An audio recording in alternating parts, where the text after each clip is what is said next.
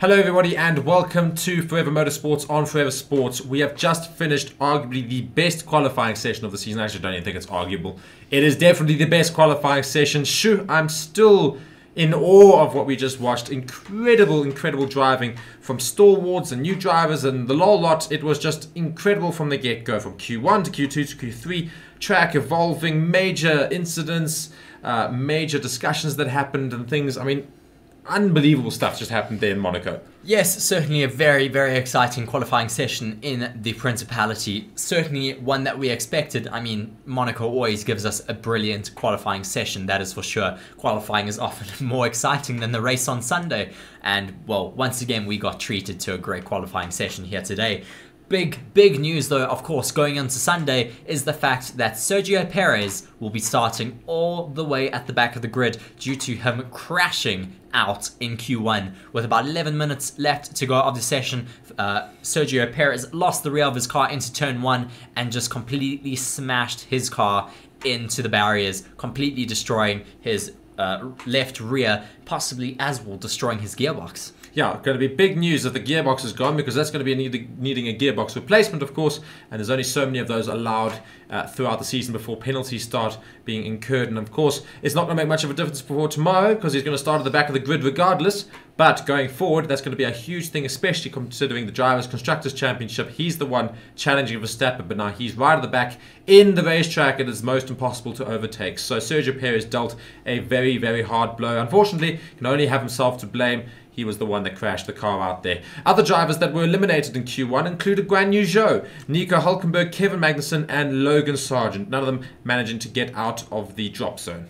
Yes, I think uh, most of those were rather expected with uh, the likes of Guan Yu Zhou, Logan Sargeant, uh, not necessarily having the greatest weekend so far. I was a little bit surprised to see the two Hasses being dropped out in Q1, but nonetheless, they are out of that session and will be starting 16 for Logan Sargeant, 17 for Magnussen, 18 for Hulkenberg, Zhou down in 19th, and Perez, of course, with that crash, all the way down in 20th. Then we had the Q2 session, which was also quite exciting. We had uh, uh, Lewis Hamilton down in that bottom five for quite some time. It looked like he was certainly struggling to get out there, um, and then luckily able to to just find some pace and get himself out of that bottom zone. But our bottom five drivers for Q2 are Valtteri Bottas down in 15th place, Lance Stroll in 14th. Certainly a very difficult day for him here in Monaco, with his teammate having a brilliant, brilliant qualifying session, but him being all the way down in 14th. It's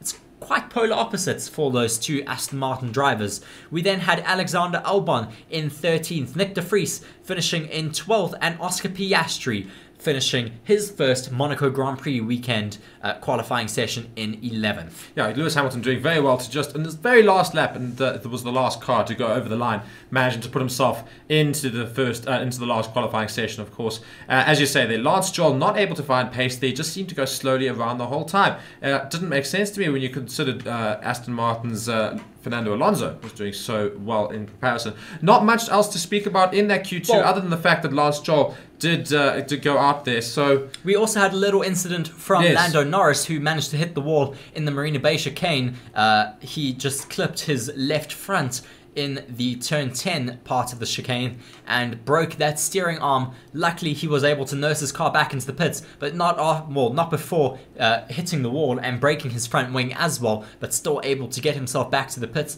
And then uh, they were very, very fortunate to be able to. I think he actually did get a time on the board, but still not necessarily being able to put in a great time in Q3. Yes, of course, managing to put a decent enough time in Q2 to make it into Q3. They then did all of those repairs in between, and then just about halfway through the session, released him out onto the track. So fantastic work from the engineers there. But unfortunately, Lando Norris, as you said, not able to put in a decent enough time to push him anywhere further up. He finishes in 10th. Yuki Tsunoda in 9th. George Russell in 8th. Pierre Gasly in seven, Lewis Hamilton in six the Mercedes, not managing to get too much pace with their brand new upgrades, although they were looking half decent in some of the, the practice sessions, but Lewis Hamilton complaining that the car was very difficult to drive uh, throughout that qualifying session. So interesting to note that Carlos Sainz in the Ferrari in fifth, and then complete out loud of nowhere, Esteban Ocon of the Alpine in fourth position. Uh, so fantastic work from the uh, Alpine driver there.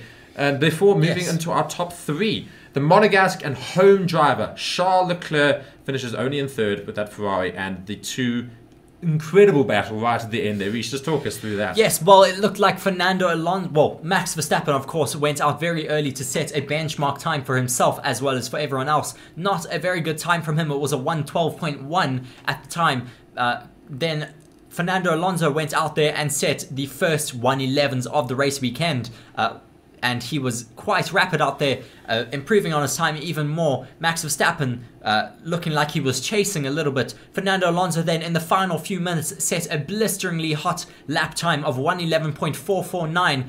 It did not look like Max Verstappen was going to beat it on his final lap as he was not improving uh, on that time of Fernando Alonso's in the first and second sector. But then in that third and final sector, he just managed to pull some time out of nowhere and just take that pole position lap uh, uh, well, pole position place, of course, with a 111.365. So, so close between himself and Fernando Alonso. Indeed. Fantastic racing for Max Verstappen under such huge pressure, knowing that he had to get uh, pull all the stops, especially in that final sector. I'm sure they would have told him uh, on the radio. I'm hoping to have said, move it, because he needed to really get going there, and luckily he managed to. And I'll tell you, the celebrations that Red Bull Garage and that Aston Martin Garage just shows you how much Red Bull had to fight for that pole position because it was not as easy as the rest of them. Everything else was always and P1 and yeah, easy P1. This was oh my word, you made P1 because that was so difficult and so dramatic right at the end. There. Unlucky for Fernando Alonso in that Aston Martin. Most people rooting for him, of course, to go and start on pole in Monaco, but he is in the front of the grid. Can he pull something out of the hat as they start the race tomorrow? We can only see on Forever Motorsports as well. Uh, so be sure to stream that tomorrow with us. But what a qualifying session it was in Monaco. Yes, it was certainly one to watch, and if you did miss it, you can always go back and watch our Grand, well, our quali uh, watch along uh, and just catch up a little bit there. It was certainly a very, very exciting session. Yeah, just going to go run through the grid one more time. So starting on the front of the grid, Max Verstappen, Fernando Alonso. In that second row, Charles Leclerc and the Alpine of Esteban Ocon. Fifth and sixth will be Carlos Sainz and Lewis Hamilton. Seventh, Pierre Gasly. Eighth, George Russell. Yuki Tsunoda in ninth. And Lando Norris rounding off the top ten. Oscar Piastri then in 11th. And Reece carry on from there. Yes, Nick De Vries then in P12. Albon 13th. Stroll 14th. Valtteri Bottas having a good day out there in the Alfa Romeo in 15th. Logan Sargeant down in 16th, Kevin Magnussen 17th, and his teammate Nico Hulkenberg down in 18th, Guan Yu Zhou 19th, and then the big talking point of the day, of course, is Sergio Perez, the alleged king of street circuits, is unfortunately out of Q1 and is going to be starting all the way from P20 tomorrow in the race. Indeed. So that was qualifying in Monaco. Definitely the best qualifying session of the season so far. And Monaco, of course, we know there's not too many overtakes, but if uh, there's anything uh, that somebody can do on this grid, it's uh, Fernando Alonso.